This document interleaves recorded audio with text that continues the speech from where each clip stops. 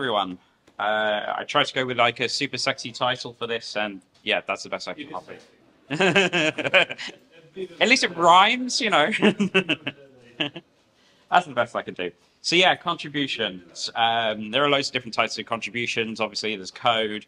Uh, funding in the case of kind of the MariaDB Foundation, documentation is a contribution uh, that's really useful at the moment. Uh, we're talking a lot this week how we could improve docs and stuff like that.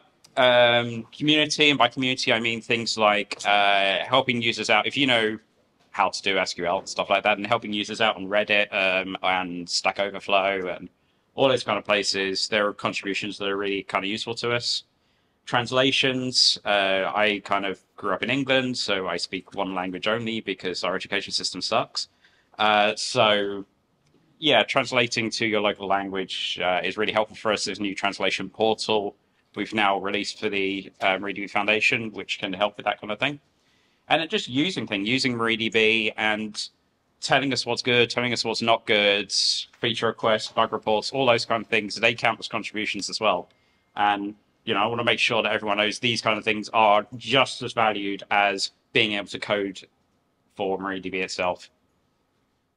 Uh, so, as I said, there are loads of different node, uh, non-code contributions. Uh, one sponsor I always pick out when I do this kind of slide is uh, Intel. Uh, so, Intel is a sponsor of MariaDB Foundation, and uh, it's quite complicated for their internal processes to give code contributions. So, instead, when they've got new platforms they're working on and things like that, they will tell us, uh, we've tried MariaDB on this, and you could do these few things to actually make it run a bit faster, and they'll work with Marko and etc. to make those kind of improvements. They run regular benchmarks on MariaDB and try and find areas of the code which are bottlenecks. And due to those kind of things, we've seen some great performance uh, improvements to MariaDB over the uh, past several releases. But uh, today I'm mostly going to be talking about code contributions. Uh, so why are they important to us? You can get a, a much more diverse input, uh, a range of life experiences. So if you if you spread the code contributions from, say, the US, from England, um, Finland, Sweden, all these different countries, there's all different life experiences, all different corporate experiences, there's all different use cases. Um, it kind of molds the project into something which can be used by everybody instead of just a small subset of people. Um, and that means the direction of the project is one that's not led by just a corporation PLC. It's led by the users, which I think is a really good thing. And you get to fix the things that are important to you. You could you could have something that's important to you, you file a feature request or a bug report, and because it's not important to a corporation in control of a project. It's something that might sit there for years and nothing happens. But you're welcome to, if you're able to do it, you're welcome to contribute that feature or bug or whatever. And uh, immediately you can get into the project a lot quicker. And there's the whole kind of community aspect of it. It's kind of why I'm, I do this kind of thing. It's building communities around open source software. So with these kind of things, uh, we gather metrics to figure out the shape of the community, the contributions, etc. Uh, everything I'm going to say here is open source, and in fact, uh, you can download the reports, the raw data for the reports uh, from our GitHub uh, releases, and they are published on blog posts, etc. We used a tool called GitDM. It's a, I've modified it quite a bit because GitDM stands for Git Data Miner it was designed with the Linux kernel in mind and generates um, contribution metrics for them. Um, it didn't quite fit our use case perfectly, so I've uh, improved it in a few places, particularly with the way it generates the CSV files on the output. And it's it literally it, uh, takes some basic configuration, which is uh, a contributor's email address and then what entity they work for, or just independent if they're independent. Um, and it also will track uh, the dates that they worked at certain entities. So uh, a good example is Otto. Um, he worked for the MariaDB Foundation for a while, and now he works for Amazon. So I've got the dates that he worked for those different entities, so it correctly attributes his commits to the right thing.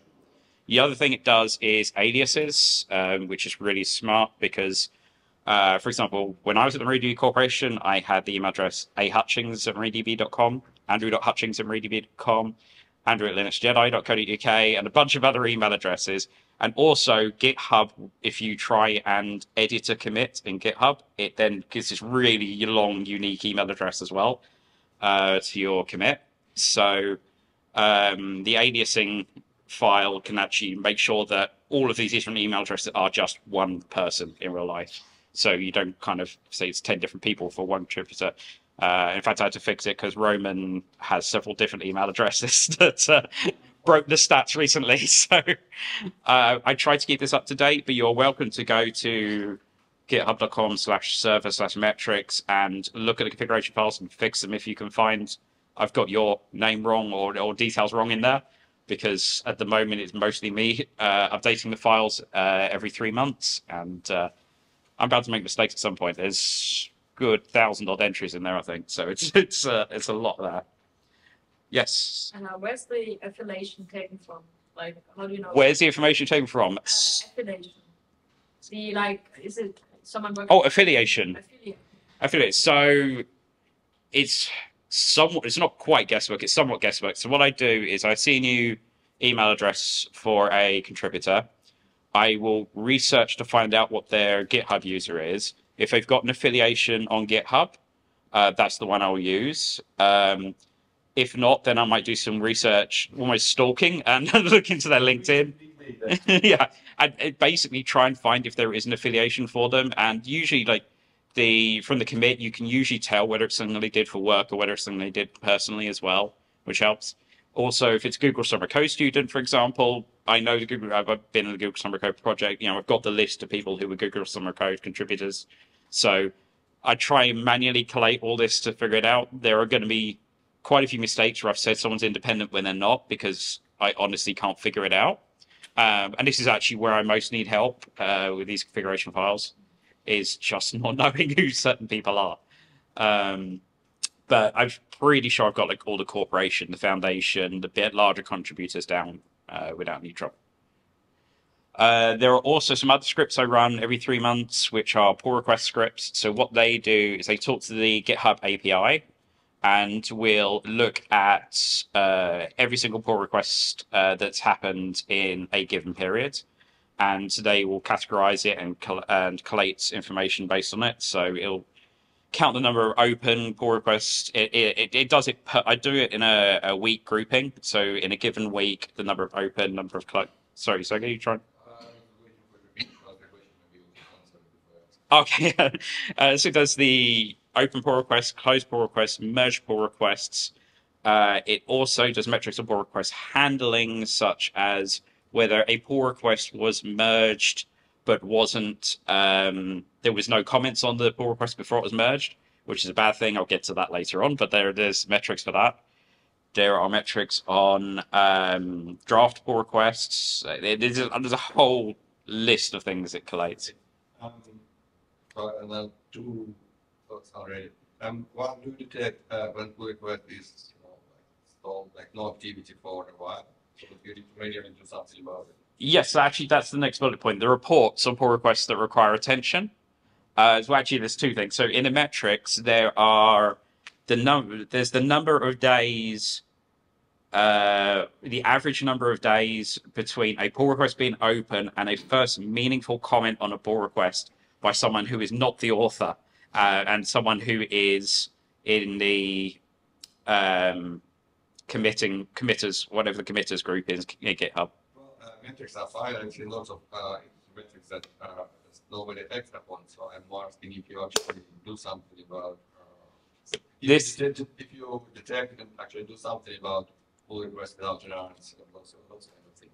So those particular metrics are very new. So at the moment, I'm gathering and not acting on them. Apart from the report section, which I'm starting to act on the report, uh, will generate pull requests that the lo- uh, a list of pull requests that are the longest since anyone has ever ever touched. Um, so those ones I'm starting to act on. Um, so that's it's a new script. It uses the same base code, but it's a script will say uh, pull request like one seven two three has not been acted on for a thousand days. You know, someone should do something about it. so there's that kind of report I generate now, um, which I think is really useful. Another thought I got when you're talking was, what maybe a good idea to detect stuff that Otto is complaining about, not proper attribution, those kind. I don't know how, how, but. ChatGPT ChatGPT can uh, take a semantics out of the page and maybe comments, so this way it can be used for categorizing. I've made it quite easy to process once you've got this uh, to, to when you've got the data from the API to process it. So it's just adding more processing features to it. So there's something we could definitely extend, but the reporting I only added in the last two months, so that's all new. And the extended part of the metrics gathering for pull requests is all new as well. So there's a lot they could do, and feel free to open uh, Jira tickets on it in um, the MDBF uh, Jira. Then uh, I can work on them if there's anything extra you think there's needed. But you can see the CSV output files um, that I, the latest one I'm going to be releasing in the next few days as soon as I actually get time to finish the blog post, and that will be published. Everything's open source, and I say snapshots every three months. Uh, so the state of contributions that it stands today, um, this is based on, I actually ran the scripts yesterday, um, so uh, you got fairly accurate. So we've got 2023 so far, so first pretty much first three uh, three quarters of 2023. There've been 30 contributors from MariaDB Corporation, seven for the foundation, and 51 from elsewhere. Um, that's fewer than the whole of 2022 for every category, but at the same time, we've still got another quarter left to go. So I'm expecting them to kind of be similar by the end of the year. Um, yes. maybe that's not no, how, how no fewer, but how exactly fewer? Like, what is the number? uh, yeah, so PLC is down to 30 from 36. I think there are several factors behind that, particularly around um, all the changes that happened in the PLC in the last year or so. Um, I haven't dug into that to figure out who's missing and things. The foundation one is an odd one. So there is eight there instead of seven. And the reason for that is a commit from 2020 created by Otto was merged in 2022. So when he wrote that commit, he worked for the foundation. So it counts as a foundation in 2022 it, due to the way Git DM processes things. even though he now he doesn't work for the foundation. So it's a bit of a funny one, and I get why why it's like that. But uh, and then you get to see the number of commits, and we're pretty much I think on par for by the end of the year being almost the same number of commits for um, PLC. Foundation might be slightly ahead from last year. Uh, it's difficult to get a metric that's based on the amount of work done because I could do lines of code change, but then you could run one script to change 10,000 lines of code, and that's almost no effort. Uh, or you could spend um, an entire week debugging something that's one line of code change. You know, so it's very difficult to gauge effort done, and so no metric here is going to be perfect on the amount of work done. So I've, I've got also lines added and lines deleted, and that's hard as well because a commit that changes a line can be a line deleted and line added or you could delete a million lines of code and add no lines. So there's there's no great way of getting this data at the moment, but it was the best I could do. I'm curious if uh, we can derive the semantics of the change. Say either autopilot, LLM, or ChatGPT. Just yes. the semantics, and using this semantic it is less complicated to how hard it is to make a commit, and with that you can come up with a way. That could definitely be done. Um, it doesn't actually take long to generate this report at all, so um, we could add extra code in to do your extra processing. It's just time doing it at the moment. It's, uh, so my dream state would be there would be more contributions for we've got more contributors already outside really PLC and Foundation than inside, but it'd be fantastic if we could have more. Yes, okay. Um, there's some, uh, metrics, not just the quantity. Al- uh, also uh, to improve. how how would we get the complexity figure? Well, I, I, I don't know. I mean, uh, that that's the hard part. Yeah, I'd, I'd love it if we could. I just don't know how to do it. Uh, ab- Complexity is a way. but uh, Roman suggested uh, an AI-based system to to look at the commits and see complexity based on that. To, to derive, to derive the complexity with, I mean, like the code. Hmm? derive the complexity taking the semantics uh, from the LLM model, like throwing the change and asking what is it changing actually, and uh, put some read based on this uh, extract. Yeah, the, the, we could certainly look into that. At the moment, we do gather lines of code changed and stuff. It's just if I put all the data on a slide, you won't be able to read it because it's just so much of it. Well, My point was actually not much about measuring, but how to uh, increase it, whatever, even if you cannot measure. Oh yeah, I mean, lo- I mean, lots of contributors that are just, you know, changing uh, one space somewhere or touch. touch- Oh, I see. Some more complex contributions coming from outside. Yes, How to improve that. is a longer game. that is something I'd love to see. But I think it's more if we started be having a, a good process of planning features in the open that um, people can get on board with. Um, we probably I know we do have processes, but they're not well documented to the outside on how to do this kind of stuff. So um, they, if people could work with us on planning new features and developing the features themselves, uh, then I think we would that would open the doors to getting larger contributions. Um, I've spoken to Amazon, and they, they, that's the kind of thing they want. They they want to contribute bigger stuff, but they're not quite sure how to work with us at the moment. I've been trying to talk them through it, but we really need something hard document documented for that. Um, see from Amazon side that they discussed actively the feature before creating a WordPress? They do not at the moment. They should. uh, but uh, I mean, there, there are sometimes they do in the MDev beforehand, but I think they could. There, there, there could be a better way, and I, I think we. It's something we need to discuss and figure out. But um, yeah, uh, so I'd love to see more contributions. Uh, eventually, some decision making uh, about what goes in and what doesn't, made by people outside of MariaDB. Yes. Yeah, so, so while we're at it, do you know any, like, uh, other source projects that do this kind of stuff and, you know, then is there something that people that's not mentioned here or that's something that you feel is easily implemented in, in a reasonable That's a loaded question. So yes, I can. I've worked for quite a few open source projects that do things very differently, um, and there are things we can change in MariaDB, but it's not a quick fix, if you know what I mean. Uh, over time, I will hopefully be finding ways of implementing good changes, good process changes like that in ways that will keep Sergey and Monty and everyone happy as well.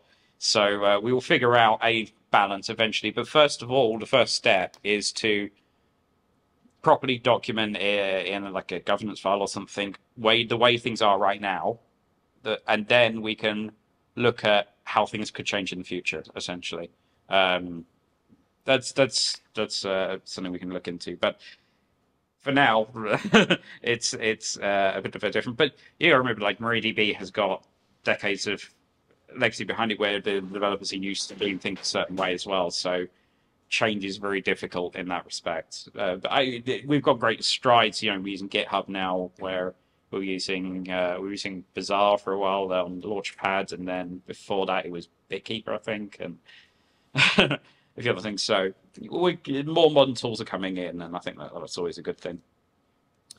Did you look into uh, what kernel, for example, are doing Postgres?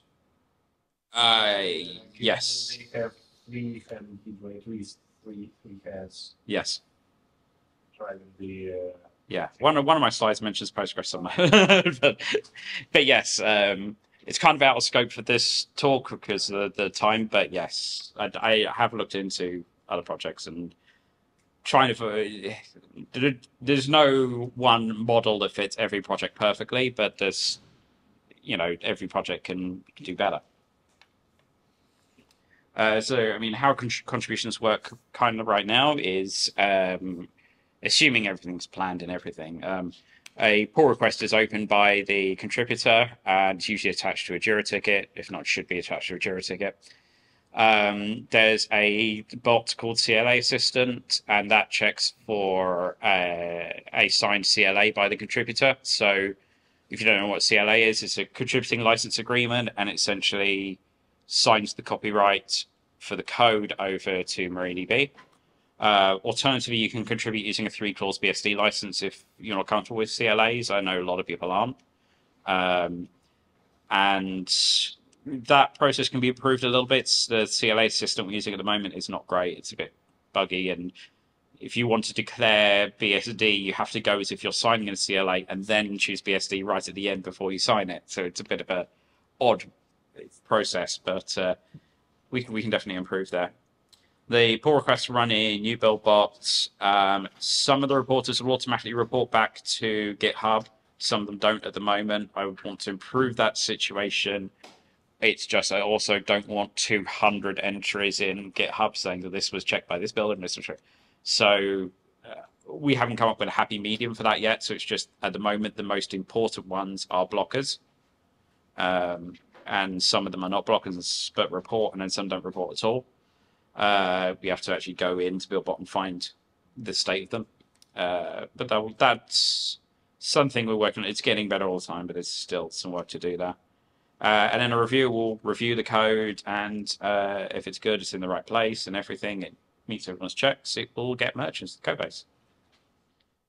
Uh, how to improve? Um, these a lot of these things have come up this week uh, already, but um, I'd love it if we had the same process, regardless of whether you're a corporation developer, PLC developer, or a community developer, a Google Summer Code student, whatever. I'd love the process of code being reviewed out in the open the same, regardless. Um, I'd love um, open discussion on features, and I mentioned Postgres there. um, the way they do it is essentially a feature is request is declared on a mailing list, and if uh, once that's discussed, it's approved, then there's a wiki page that's created where um, the progress of that is kind of tracked and everything. Um, and there's a lot of good process behind that. I'm not quite sure when the tooling is right for us, but the process is good, I think. Um, I'd love it if we had two core reviewers to approve code. Again, this is something else I've mentioned this week. And um, this is something we can actually quite easy that when the code has been approved, GitHub can just automatically, and the CI has passed as well, GitHub can automatically merge it. Uh, so this is this is a step we could take, and we've uh, discussed with Daniel. We might do this at some point quite soon. So I'm not quite sure how this well this graph's going to come out because it's uh, quite tight. But this is just two of the metrics I get for pull requests. So the red line here is the number of uh, still open pull requests per week, uh, and we hover roughly around the 150 mark, which is not a good place to be in. and it's my job to get that down, and it's been slowly going up. So yeah, that's Uh, I need to fix that. The blue line is the number of new pull requests per week here. So that hovers somewhere in the region of 10 to 20 a week of new ones coming in.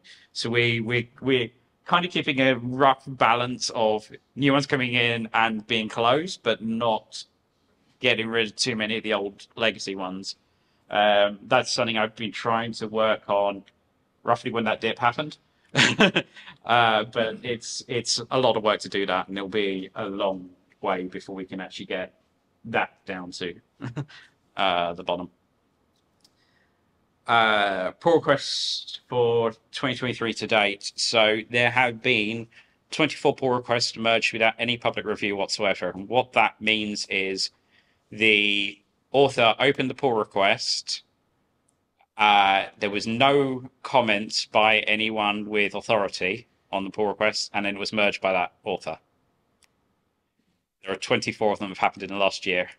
Um, that's a bad thing, so we need to fix that. do you, do you count uh, all pull requests or only pull requests by you know channel people without uh, write access that particular metric is internal people.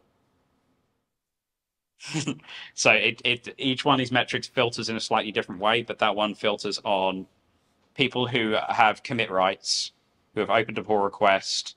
There's been no public comments, and it's been merged by that same person.